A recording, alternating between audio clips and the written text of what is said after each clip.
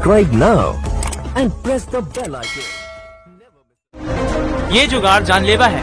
एवी road पर बिजासन घाट क्षेत्र से गन्ने से भरे ट्रैक्टर धड़ल्ले से गुजरते हैं। महाराष्ट्र से रोज़ाना ओवरलोड ट्रॉलियाँ गन्ने भर कर निकलती हैं, लेकिन पुलिस और ट्रैफ़िक विभाग इस मामले से बेसुध है।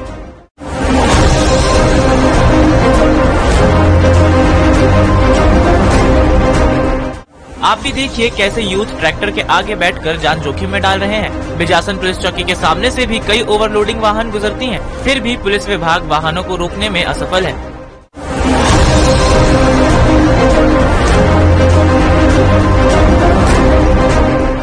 हम भी आपसे अपील करते हैं कि ट्रैफ़िक नियमों का पालन ज़रूर करें।